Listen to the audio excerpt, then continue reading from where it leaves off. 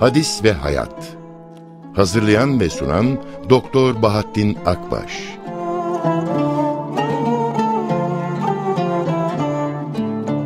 Merhabalar değerli dinleyenler. Allah'ın selamı, rahmeti ve bereketi üzerinize olsun. Allah'a hamd, Resulüne salat ve selamlar olsun. Bütün peygamberlere selam olsun. Allah Resulü şöyle buyurdular. Nice oruç tutanlar vardır ki, onların oruçtan payları sadece aç ve susuz kalmalarıdır. Nice geceler ibadetle geçirenler vardır ki, onların kıyamdan nasipleri sadece uykusuz kalmaktır. Rubbe saimin leyse lehu min siyamihi illel cu' ve rubbe kaimin leyse lehu min kıyamihi illes seher. İbadet, Allah'a itaat, mütevazi olmak, kulluk, emre uymak, boyun eğmek gibi anlamlara gelir. İbadet bir Müslümanın vakit ve mekanla kayıtlı Allah'ın razı olduğu fiilleri yerine getirmesi demektir. Abdest, namaz, oruç, hac, umre, zekat, itikaf gibi belli vakit ve mekanlarla kayıtlı olan bütün ibadetler ibadeti mersume dediğimiz alanın içerisine girer. Bir de ibadeti manevi vardır. Bir Müslümanın zaman ve mekan kayıtlarının dışında Kur'an ve sünnet çerçevesinde Allah'ı hoşnut etmek, Allah'ı razı etmek için yaptığı her türlü meşru faaliyet de bu kapsamın içerisine girer. Bu bağlamda ibadet, Yüce Allah'ın hoşnutluğunu kazanmak adına emrettiklerini yerine getirmek ve yasak kıldıklarından kaçınmaktır. Elbette bu ibadetlere belli bir sınır çizmek de güçtür. Bunun basit bir misali birbiriyle karşılaştığı zaman Müslümanların birbirlerine tebessüm etmesi, güler yüz göstermeleri, selam vermeleri, aç kimseleri doyurmaları, yolda insanlara zarar verecek bir engeli kaldırmaları, dargın, küskün olan iki insanı barıştırmaları, insanların arasını bulmaları gibi geniş bir alana hitap eder. Bunlar sosyal davranış türleri içerisine girer. Bir ayet-i kerimede geniş anlamdaki ibadet şöyle belirtilir. Şüphesiz benim namazım da, diğer ibadetlerim de, yaşamam da, ölümüm de, alemlerin Rabbi Allah içindir. Ayet-i kerimeden yola çıktığımızda şunu söylemek mümkündür. İslam dininde ibadetler sadece belli biçim ve sembollerle sınırlı kılınmamıştır. Bununla birlikte bizden bütün bir dünya hayatının ibadet haline dönüştürülmesi istenmiştir. İbadet bir Müslümanın 24 saatini bir gün ve gecesini kuşatır. Bir insan 24 saatinde Allah'a ya itaat halindedir ya da isyan halindedir. Elbette insanların Allah'a itaat üzere bulunmaları arzu edilendir. İsyan halinde şer üzere bulunmalarını Allah murad etmez. Canlı cansız bütün varlıklar kendilerine özgü ibadetlerle sorumlu kılınmıştır İslam dininde. Mevcudat dediğimiz varlıklar içerisinde irade özgürlüğüne sahip tek varlık insandır. İnsan Allah'ın kendisini sorumlu tuttuğu alanda özgürdür. Nasıl ki insan inanç sisteminde özgür bırakılmışsa, ibadetlerini yerine getirip getirmeme konusunda da özgür kılınmıştır. Yapıp ettiklerinin karşılığını görecektir insan. Eğer böyle olmasaydı sevap ve günahın, cennet ve cehennemin bir imtihana tabi kılınmanın anlamı kalmazdı.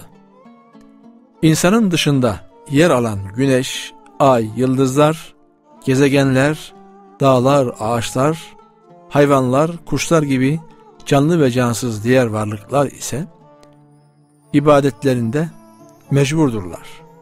Allah ne için yaratmışsa onları o hal üzere tabi kılındıkları hal üzere bulunurlar. Yaratan elbette en güzelini yaratır. Allah batıl, boş ve gayesiz bir şey yaratmaz.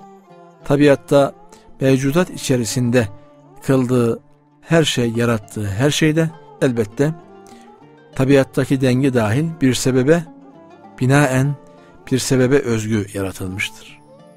Kur'an-ı Kerim'de insanın dışındaki varlıkların ibadeti, secde, tesbih ve salat kavramları ile ifade olunur. İbadeti mersume dediğimiz dinin şekil ve biçimsellik yönüyle ilişkilidir. İbadetlerde şekil ve suret suyu koruyan kap gibidir. İbadetlerin şekil bakımından uygulanması kuşkusuz önemlidir. İbadetleri belirleyen Yüce Allah'tır. Hiç kimsenin ibadetleri arttırma ve eksiltme hakkı yoktur. İbadetlerin yerine getiriliş, uygulanış biçimlerinde Allah'ın elçisi, sevgili peygamberimiz bizzat uygulamak suretiyle bizlere göstermiştir. Söz gelimi namaz ibadetini onlarca ayet-i kerimede Allah emreder müminlere. Bunun kılınış ve uygulanış biçimini, zaman, vakit ve ifade, icra olunuş şekillerini Allah Resulü göstermiş ve ben nasıl namaz kılıyorsam öyle kılınız buyurmuştur hac menasinde benden alınız buyurmuşlardır. Yine zekatın nisabı, ölçüsü hangi mallardan verileceği hususları da Allah Resulü tarafından sünnet ve hadislerce ortaya konulmuştur. İbadetleri belirleyen Yüce Allah'tır. Ayet-i Kerime'de her ümmete yerine getirmeleri gereken ibadetler koyduk buyurulur. İbadet şekilleri ilahi vahiy ile düzenlenmiş ve uygulanması Hazreti Peygamber tarafından öğretilmiş, gösterilmiştir. İşte biz Müslümanlar ibadetlerin şekil boyutlarını vahiy ve sünnet bağlamında öğrenip hayata geçirmekle, hayata yansıtmakla yükümlüyüz. İbadetlerde hiç şüphesiz şekil boyutu kadar mana boyutu da önem taşır. İbadetlerin anlamı da önem arz eder. Bunlardan birisi eksikse, ibadetlerden müspet anlamda beklenen ahlaki ve ruhsal değişim gerçekleşmez. İbadet hayatının ruh ve anlamını iyi niyet, huşu, ihsan, ihlas, takva ve her şeklin sembolik anlamını kavramak oluşturur. Bundan dolayı bir Müslümanın ibadetle adeti birbirinden ayırması gerekir. Bu da ancak sahih niyetle olur. Niyet çok anlam ve önem arz eder. Allah Resulü de amellerin, davranışların niyetle anlam ve değer kazandığını ortaya koyar. İbadetlerin ruhunu teşkil eden, ibadetlerin ruhunu tahkim eden niyet ve ihlastır. Niyet ve ihlas bütün ibadetlerin özü ve iliğidir. Dolayısıyla ibadetlerden elde edeceğimiz sevabı yok eden, adetleştirmeye dayalı gösterişçi ve desenler türü dindarlıktan uzak durulmalıdır. Onların etleri ve kanları asla Allah'a ulaşmaz. Fakat ona sizin takvanız, Allah'a karşı gelmekten sakınmanız ulaşır. Ayetiyle ihlas durumu ve samimi dindarlığın keyfiyeti nasıl olacağı vurgulanır. Bu hadisteki uyarı ibadetlerin mana boyutuna dikkatleri çeker. Nice oruç tutan vardır ki oruçtan nasibi ancak açlık ve susuzluktur. Nice geceleyin geceyi kıyamla geçirenler vardır ki onun da eline geçecek olan onun nasibi de uykusuzluktur. Hadis-i şerif ibadetlerin mana boyutuyla icra olunmasının ne kadar önem arz ettiğini bizlere hatırlatıyor. Bir nevi ihlas, saf dindarlık olan takva ile bütünleşir. Bir Müslüman ancak ibadetlerdeki mükemmeliyet neticesinde ihsan seviyesine yükselebilir. İhsan seviyesi her an Allah'la birlikte olma duyarlılığına götürür kişiyi. İbadetler için en büyük tehlike şirktir. Dolayısıyla bir Müslüman hangi tür ibadeti yerine getirirse getirsin, ibadetlerine şirk karıştırmamalıdır. Bir ayette kim Rabbine kavuşmayı arzu ediyorsa, doğru dürüst işler yapsın. Rabbine ibadet ederken hiçbir kimseyi ona ortak koşmasın, ona ortak tutmasın. Buyurularak ubudiyette, Allah'a kullukta, tevhidin gözetilmesine dikkat çekilir. İşte böyle yapılan ibadetler kişiyi iyi ahlaklı olma yolunda dönüştürür, değiştirebilir. Aksi halde salt, sırf şekil boyutunu öne çıkaran ve ruh boyutunu ihmal eden ya da ruh boyutunu öne çıkarıp şekil boyutunu ihmal eden kimselerin ibadetleri eksik ve kusurlu kalacaktır. Mümkün olduğu kadar her iki boyutu bir arada icra edenlerin ve unutmayanların ibadeti ibadet kavramıyla bütünleştirilebilir. Sonuçta ibadetler insanı ahlaki açıdan iyi yönde olgunlaştırır ve değiştirir, kemale eriştirir. İmam Gazali'nin dediği gibi iyi Müslümanlık salt namaz ve oruçta değil ahlaki değerlerin temsilinde ortaya çıkar. Bu da ancak şekil ve mana boyutu gözetilerek ibadet yapmakla elde edilir.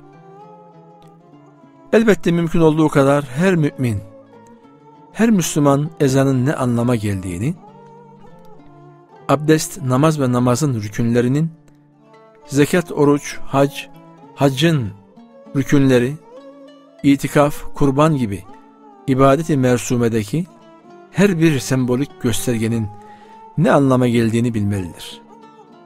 İbadetlerin ibadetlerde şekil itibariyle ifa olunan hususların elbette altında yatan manalar, derin semboller vardır. Bu sembolleri de kavramalıdır Müslüman. Bundan dolayı İslam alimleri hikmetleriyle ibadetleri konu alan eserler ortaya koymuşlardır. O halde geniş anlamda ibadet ve kulluk bilincini taşıyanlar ve yaşayanlar dünyayı dönüştürebilir, değiştirebilirler. Bir İslam davetçisinin dediği üzere eğer biz İslam'ı şekil ve mana boyutuyla birlikte bedenlerimizde yaşarsak, temsil edersek Allah onu mutlaka beldelerimizde övülmüş ahlaki davranışlar tarzında yaşatacaktır. Ne mutlu hayatının tüm alanlarını ibadetle bütünleştirenlere ve bütün bir dünyayı ibadet düzeni haline çevirmenin mücadelesini verenlere. Allah Resulü'nün hadisine yeniden dönecek olursak, tuttuğumuz oruçlar elbette bizi günahlardan, haramlardan, harama düşürmekten, menhiyat dediğimiz çirkin davranışlardan, fahşadan tutmalıdır. Kıldığımız namazlar yine bizi fenalıklardan, kötülüklerden, azgınlıklardan, günahlara düçar olmaktan, sapmaktan, saptırılmaktan korumalıdır. Çünkü namazın işlevine, mana ve önemine Rabbimiz işaret ederken kuşkusuz namaz fahşadan, alıkoyar buyurur. Namazı kılınız çünkü namaz insanı her türlü kötülükten, günahtan, fuhşiyattan men eder. Kıldığımız namazlar da işte bizi iyiliğe, takvaya, taate eriştirmeli, kötülüklerden alıkoymalı. Kıldığımız namazlardan, tuttuğumuz oruçlardan, yaptığımız ibadetlerden gafil olmamalı. İbadetlerin pek çok hikmeti vardır. Ki biz müminler Allah'a teslim olmuş olanlar olmamız itibariyle ibadetler Allah'ın hoş tuttuğunu, onun rızasını elde edebilmek için ifa ederiz.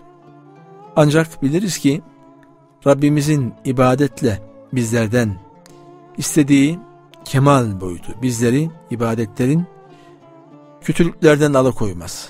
Kıldığımız namazların, tuttuğumuz oruçların, ibadeti mersume dediğimiz Allah Resulü'nün gösterdiği, Kur'an-ı Kerim'in bizlere emrettiği formel ibadetlerin dışında diğer bütün bir hayatımızda ibadet hükmüne, ibadet haline çevirmek elimizdedir.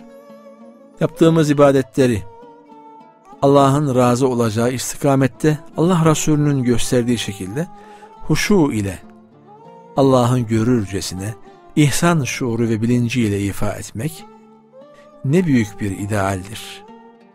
Ve her müminin hedefi olmalıdır. Yine aynı şekilde bütün bir gündüzümüzü ve gecemizi Allah'ın bizi görüyor olduğunu unutmadan insanları kırmadan insanların gönüllerine girmek, insanlara tebessüm göstermek, yoldaki bir taşı alıp bir kenara koymak, engelleri kaldırmaya çalışmak ve bütün bir insanın hayatını ibadet haline geçirmesi ve çevirmesi.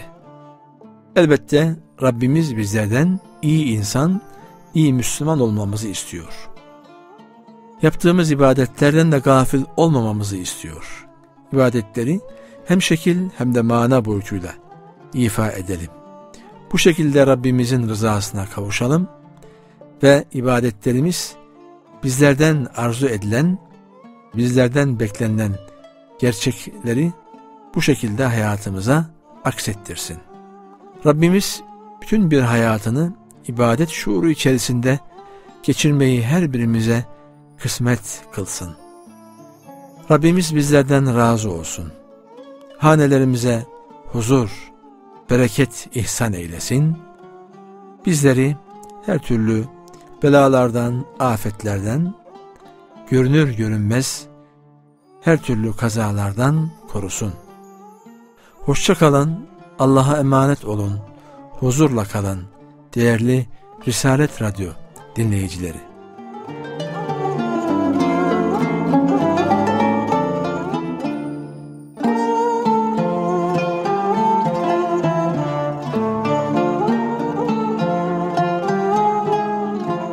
Hadis ve Hayat Hazırlayan ve sunan Doktor Bahattin Akbaş